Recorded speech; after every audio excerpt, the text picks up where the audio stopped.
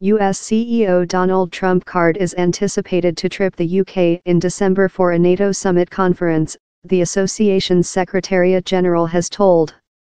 Jens Stoltenberg told in a declaration how this allies include coordinated to encounter to talk safety challenges and how NATO can adjust to hold human beings secure. Theresa May told it would be an essential prospect to modernize. Mr. Trump card's contentious at first formal travel to the UK took location in July 2018, among a background of irate protests the US CEO met the Tsarina at Windsor Palace and detained negotiations in the main secretary at Chequers, time thousands of human beings marched via centre London in outcry at his trip. The US CEO, who has often criticized the War Association, will encounter heads of country in London, the household of NATO's at first staff.